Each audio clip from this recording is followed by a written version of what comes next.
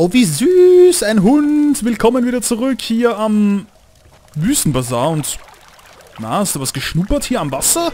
Riecht es gut? Ah, wir sind ja auch in der Nähe der Wüste.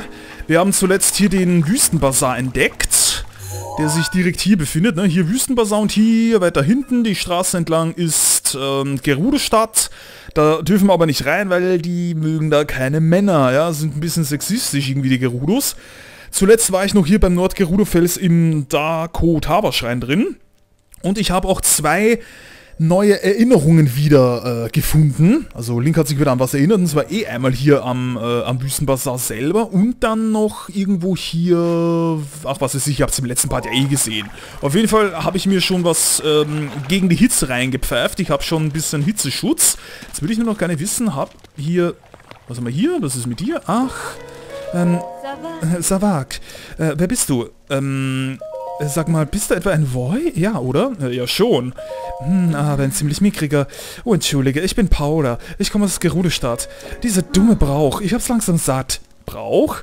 Äh, ja, ja. Ein Hylianer wie du hat damit eigentlich nichts am Hut, aber wenn jemand im Gerudo-Stamm ein Alter erreicht, fangen alle um sie herum an, sie zu nerven. Weswegen? Äh, das weißt du nicht? Wenn eine Gerude ins geeignete Alter kommt, verlässt sie die Stadt und sucht in der weiten Welt ihr Glück. Unser Stamm besteht nur aus Frauen. Deshalb ist es auch das einzige Gelegenheit für uns, einen Mann zu finden. Denn das Problem ist, dass ich nirgendwo Arbeit finde. Ich bin zwar eine geschickte Schneiderin, aber diese Kunst scheint im Moment nicht sehr gefragt zu sein. Und solange ich hier nicht wegkomme, lerne ich natürlich auch keine Voy kennen. Gibt es denn nirgendwo einen Ort, wo ich gebraucht werde? Äh, naja, ich äh, würde mich ja gerne anbieten, aber ich habe auch ein bisschen was zu tun, Powder. Also vielleicht finde ich ja noch einen Mann für dich. Eventuell, ich weiß ja nicht genau. Oh, Hallöchen. Hallo. Alter, hier sind überall Frauen, ey, da, da wird man doch wahnsinnig. Oh, hm? tut mir leid. Was? Was sagst? Äh, so, ich möchte kaufen. Äh, wir haben nur das, was du das siehst. Wenn du eine größere Menge Pferde brauchst, musst du dich in Gerudestadt umsehen. Als Voy werden sie dich aber wohl nicht in die Stadt lassen. Brauchst du noch etwas? Äh, nö. Na, wir hoffen, dich bald wieder grüßen zu dürfen. Ach so, hier. Ach geil, wir, wir können die ganzen Pfeile hier kaufen. Hier, so. Ein, toll. Ein Holzpfeil, ein Feuerpfeil, ein Eispfeil, ein Bombenpfeil und ein einzelner Elektropfeil. Ist aber nicht sehr viel. Ein etwas mickriges Sortiment, bisschen wenig... Oh, Alter, die sind alle so riesig. Warum ist Lick eigentlich so ein Knirps in dem Spiel? Er ist so ein, so ein der ist so zusammengestaucht. Mensch, ich weiß ja nicht, wie, wie groß die sind, aber er wirkt mir wie, keine Ahnung, werden 70 oder noch kleiner. Savak. Und der Titan scheint jeden Tag näher zu kommen. Wann werden wir endlich wieder nach Gerudestadt zurück können? Ähm, Titan? Na, dieses riesige Ungetüm, das durch die Wüste stampft. Seinetwegen gibt es diese Sandstimme und wer sich so nah heranwagt, wird in Asche verwandelt. Ich traue mich jedenfalls nicht zurück nach Gerudestadt. Gerudestadt? Eine Stadt südwestlich von hier, in der wir Gerudo leben und die größte Siedlung hier in dieser Gegend. Es gibt dort einen Marktplatz und ein Gasthaus und eigentlich ist rund um die Uhr immer was, was los. Mhm. Aber du hast leider Pech. Denn Voy ist der Zutritt verboten. Ja, ich hab's langsam mitbekommen und... Oh Gott, wer ist das denn jetzt wieder? So ein Ärger, dieser, dieser Titan aufgetaucht ist, kommen hier kaum noch Kunden vorbei. Der Stampf mag zwar etwas stören, aber willst du nicht vielleicht trotzdem hier übernachten?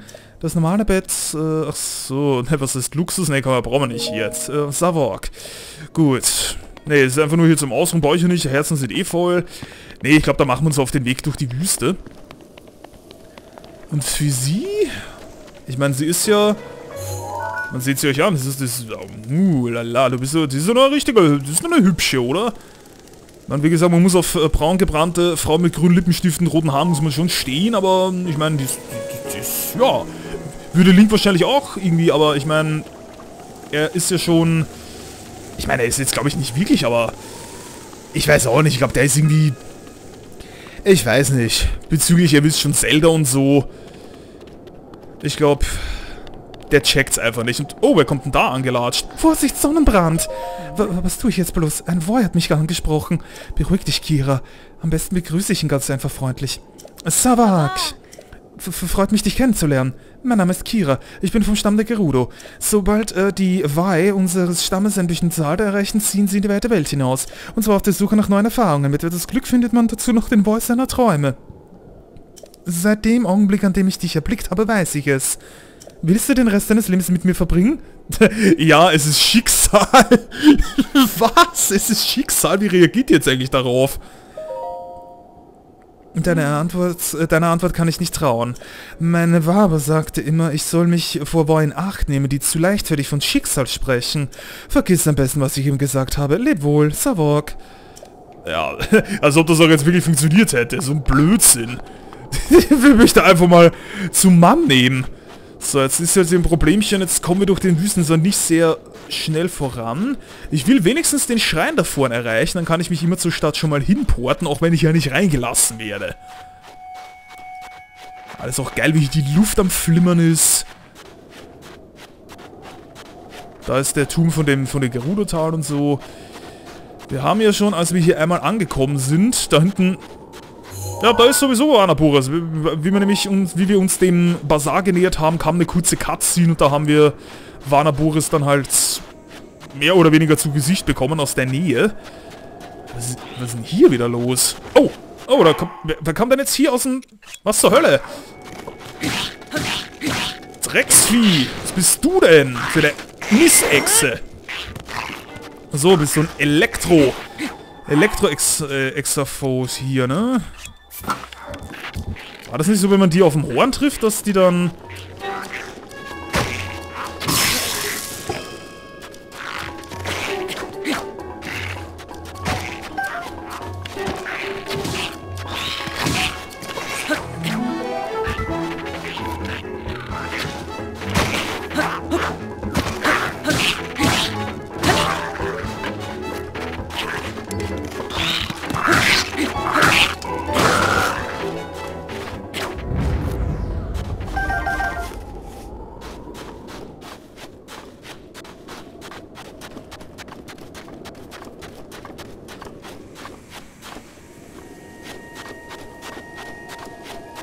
Ein Lager von denen. Ja, ja, schreien in der Nähe. Ich weiß, das ist der da vorne.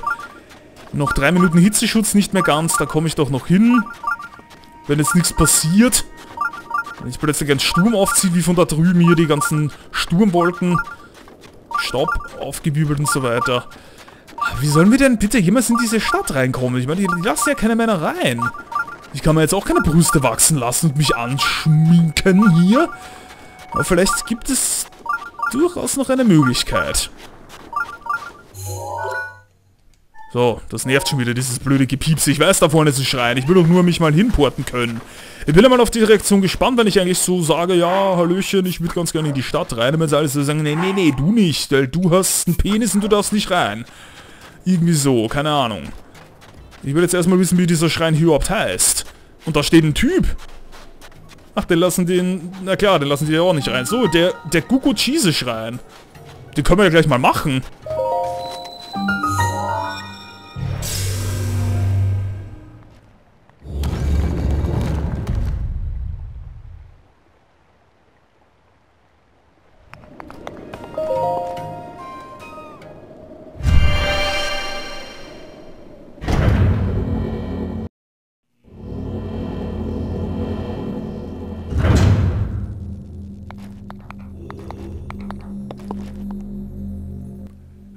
Willkommen, Pilger, mein Name ist Guko Chise, im Namen der Göttin Hülle sollst du geprüft werden. Fünfmal Eisen. Fünfmal Eisen? Achso, wegen Eisenblöcke und so weiter. Und hier ist wieder ein Elektrizitätsrätsel. Das ist jetzt schon das dritte dieser Art. Also eine andere Art von Elektrorätsel meine ich, aber vom selben Typus. Gut, Metallfass, Metallblock. Leitet alles schön Strom. Da ist auch Metallfass drin. Mhm. Wir müssen doch eigentlich erstmal... Genau, wir müssen hier einen, eine Verbindung schaffen. Logischerweise. Irgendwie, dass das hier übertragen wird. Aber nicht gerade so, dass ich mir selber weh tue. Boah, ganz schön schwer, ha? Huh?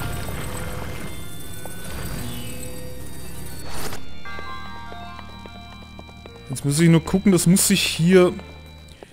Gibt es hier noch mehr? Von diesem ganzen Kram? Hier ist nämlich schon ein Ende. Oh, nö, irgendwie... Hä? Auch komisch. Gibt nur einen einzigen Metallblock und einen so ein Fass. Weil der ist noch eingesperrt? Achso, vielleicht muss man sich das überhaupt erstmal alles rausholen. Ja, Moment, Moment. Dann ist das da drüben schon mal falsch, weil das geht ja nicht.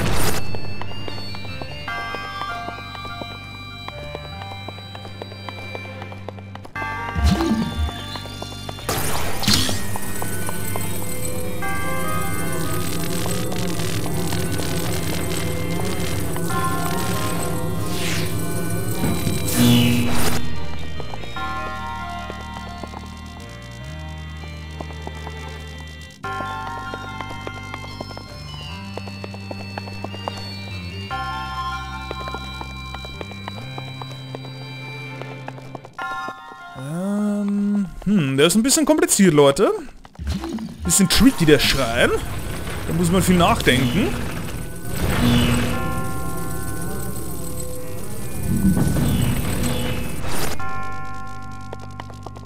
Toll, das bringt genau gar nichts. Wahrscheinlich muss das da oben, da links auch noch an sind, dass das Haupttor hier aufgeht. Ich meine, hier drin ist eine Truhe. Da haben wir noch ein Metallfass. Aber wie kriege ich den Strom bis hierher? Das geht ja auch nicht wirklich. Das geht auch nicht wirklich. Da drüben... Ich meine, wenn hier was wäre und eventuell hier, aber ich weiß nicht, ob das funktioniert. Boah, na, der Schrein ist aber mal... Hoho. Da muss man wirklich ein bisschen... Ist nicht so ganz meine Liga irgendwie. Ich fühle mich dafür schon wieder zu blöd. Ah komm schon, wir müssen doch irgendwie... Das muss doch irgendwie, muss das ja gehen. Im Moment können wir nur ein Fass benutzen und einen Block. Mehr geht offenbar im Moment gar nicht.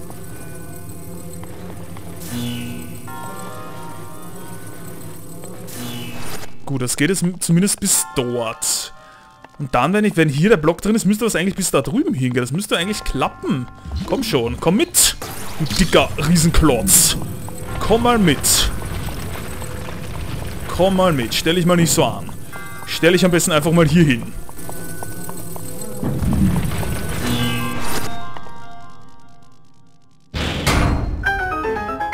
Na geht doch. So, jetzt ist nämlich hier das zweite Metallfass. Und das kann ich... Achso, nee, warte mal. Das müsste von da drüben... Ach so. Das muss eigentlich hier dazwischen. Beziehungsweise... Na, warte mal. Warte mal, warte mal, warte mal. Wenn das hier ist... Warte mal, das kann ich jetzt... Ja. Vorsichtig, da, kann, ich, ja nicht anfassen.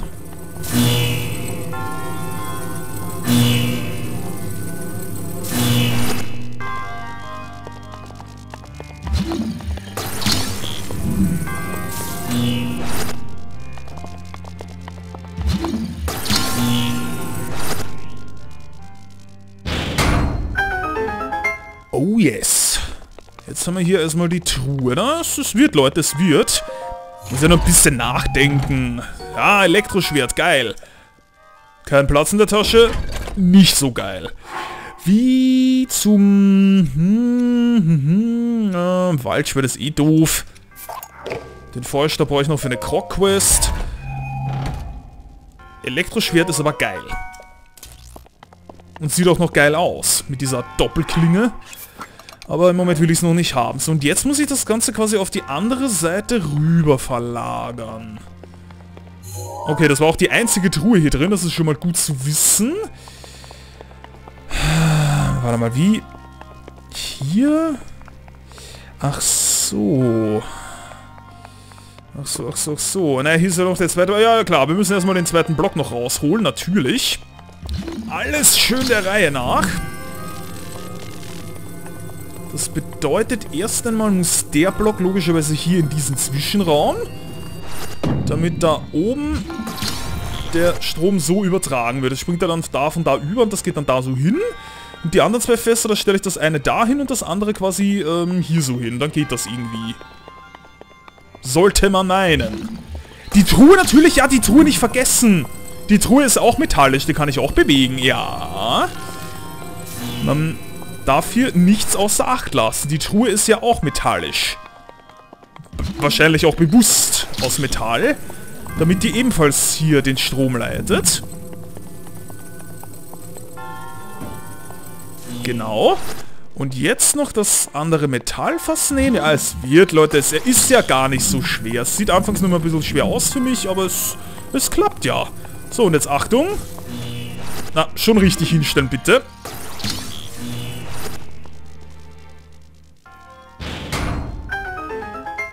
Obergeil. Das Ganze natürlich jetzt so, dass dieser Block hier steht. Und der andere kommt jetzt mit mir mit und kommt auf die andere Seite. Und zwar hier hin und dann sind wir eigentlich auch schon fertig. Dann war das gar nicht so schlimm.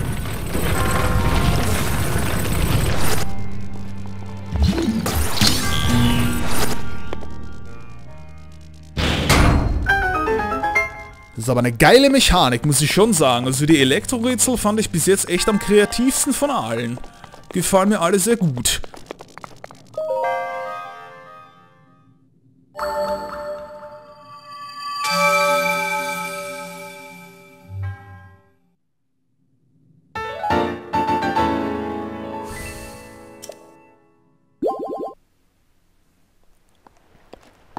Oh!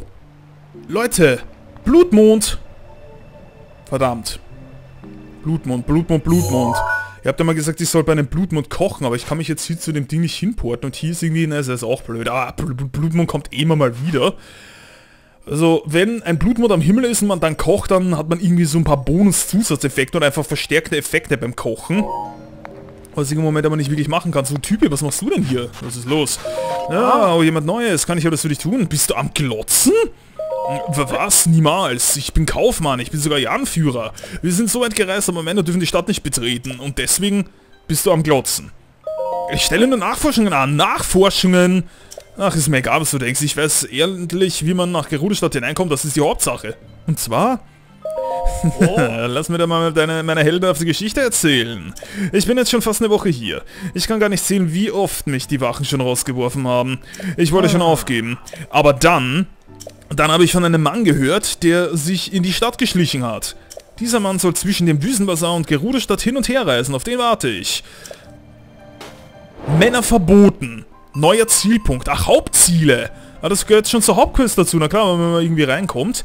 Es hat also doch jemand geschafft, sich da reinzuschleichen? Bist du am Glotzen? fragt er auch noch. Ganz unverschämt, unser Link. So. Ja, ja, jetzt fliegt hier wieder das rote Zeug durch die Luft. Hier Wüstenbazar und... Ah, seht ihr, seht ihr? Es ist kalt. Nachts in der Wüste kalt, kein Problem. So, nicht mit mir. Passende Hose noch dazu. Ja, jetzt kommt hier wieder diese mega dramatische Musik. Wegen dem bevorstehenden Blutmond. Alter, der Himmel sieht immer so heftig krass übel aus. Das wird gleich die Welt untergehen.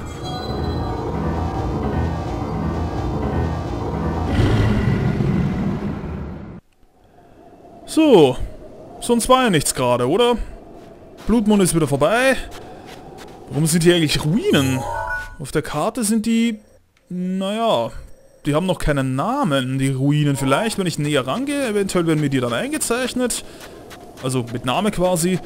Aber ich finde das so geil, wie Nintendo das wirklich mal richtig super bedacht hat, dass es äh, nachts in so einer Wüste richtig kalt werden kann, weil der Sand halt die Hitze nicht mehr länger speichert und nichts mehr reflektiert ohne Sonne dann ist es in so einer Wüste tatsächlich auch ziemlich kalt. Was sind das jetzt hier bitte für Ruinen? Oh, nach dir habe ich nicht gefragt, du Knochenfratze, du Blöde. Was machst du da? Oh, starker Exalbogen. Mit Metall verstärkt. Kann man... Kann man machen, muss man aber nicht. Wie dämlich das immer aussieht, wenn die sich wieder versuchen zusammenzubauen. Du bist ein bisschen dämlichen Kopflos, kann das sein? Warum sind hier... Oh, Glutkraut. Warum sind hier Ruinen? Ein Haufen Säulen?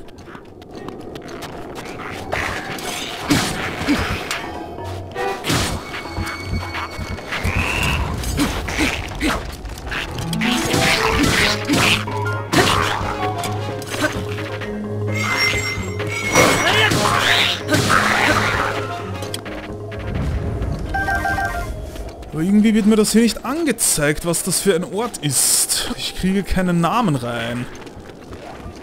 Ah. Warum? Wieso? Weshalb? Was ist das hier? Ich will es doch nur wissen. Ich will nur wissen, was das hier ist. Das kann eigentlich einfach nur voller Gegner sein und sonst gar nichts. Das sieht mir so, so doch etwas wichtiger aus, als wenn es einfach nur hier ja, einfach nur hier so, so ist, aber irgendwie, keine Ahnung. Es wird kein Ortsname eingetragen in die Karte, auch wenn ich hier durch die Gegend laufe. Bringt das überhaupt nichts? Ich wollte es eigentlich im Moment noch gar nicht. Warte mal. System? Nee, warte mal. Tagebuch. So, Männer verboten haben wir wieder aus. Ich will das noch gar nicht. Ich will eigentlich mit den Erinnerungsfotos weitermachen. Du musst noch sieben Orte besuchen. Hallöchen? Was ist eigentlich das nächste Foto gewesen? Ach ja, hier. Das, Leute, ist tatsächlich auf dem Todesberg irgendwo bei den Goronen. Das habe ich mir eh auch markiert. Ich habe mir jetzt zuletzt alle Ziele markiert. Also überall da, wo, wo ich mir so ein Schwertsymbol hingemacht habe, ist so eine Erinnerung. Und das bei den Goronen, das ist hier. In der Nähe vom Goronbi-See. Beziehungsweise hier ist der Goronbi-Fluss. Und hier auf diesem Hang scheinbar, da sieht man auch so schön einen, Ste einen kleinen Steinkreis, da ist das. Jetzt frage ich mich, wie komme ich da hin? Eventuell kann ich vom äh, Elgenturm aus hinfliegen, das wäre nicht schlecht. Ich probiere das einfach mal.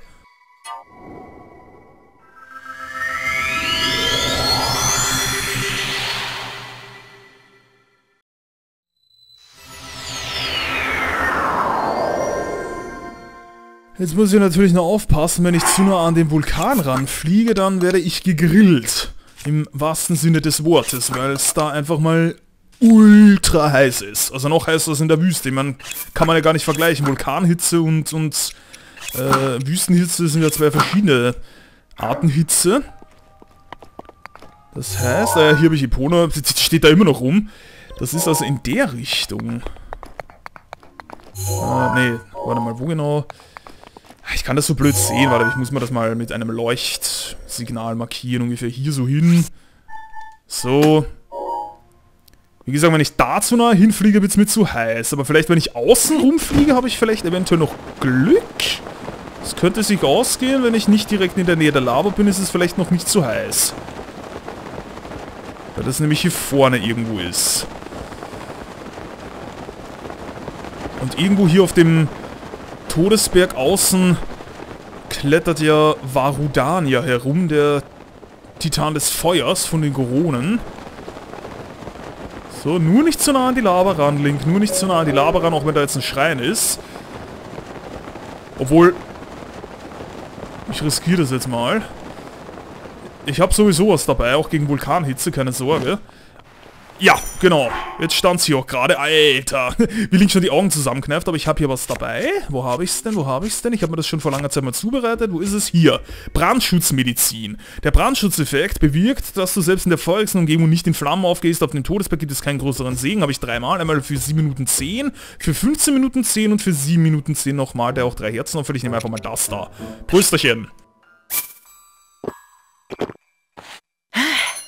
Schön. Also für 7 Minuten, 10 Sekunden habe ich jetzt Brandschutz. Ja, da steht ja, hier herrscht Brandgefahr. Wenn du vorbei bist, erleidest du Schaden. Und vor allem, man sollte niemals, niemals, erstens kann man keine Holzwaffen benutzen, weil die sowieso in Feuer äh, gleich aufgehen und verbrennen. Man sollte hier niemals Bombenfälle benutzen, weil die explodieren nämlich sofort, habe ich mir sagen lassen. Also, das wäre ganz schön bescheuert.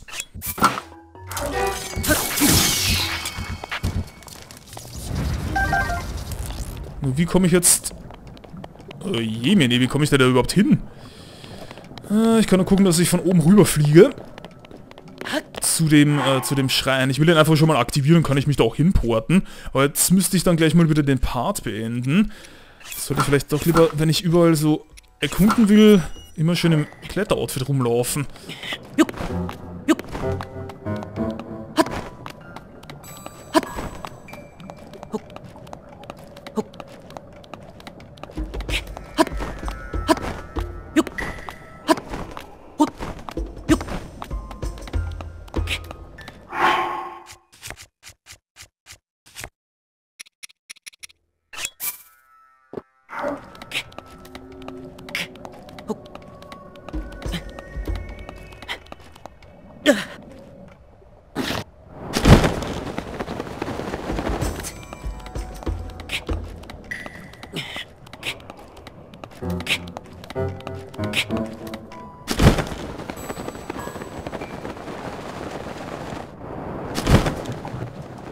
Der Kyuramuhi-Schrein. Witziger Name mal wieder. Können wir noch aktivieren, aber Leute, ich muss den Part jetzt beenden.